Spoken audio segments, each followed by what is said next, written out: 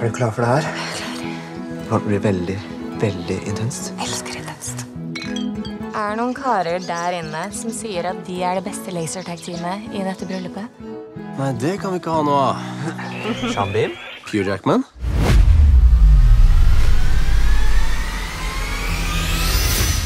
Audun? Det må bli det beste utdrikningslaget noensinne. Vi skal feste med en fyr helt til han kjøper et abonnement. Jeg tror Kasper har det gøy. Det går fint. Vi må bare vi må finne på noe gøy. Paintball! Uh, paintball. Uh, vi skal spille paintball.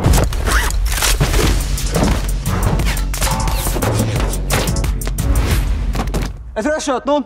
Er han dau, eller? Han puster jo.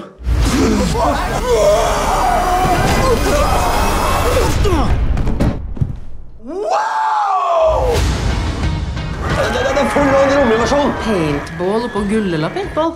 Nei. Hva er det? Det var jo var det. Det jo ned om det er akkurat det som skjedde. Å kjenne på at vi sitter i en politibil og skal skyte aliens med laserpistoler. Bilbelte på!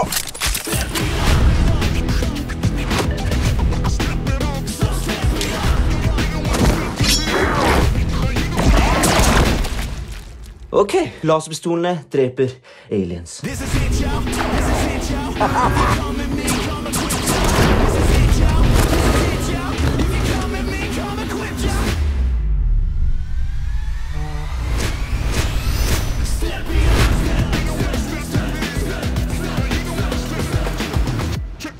check this out.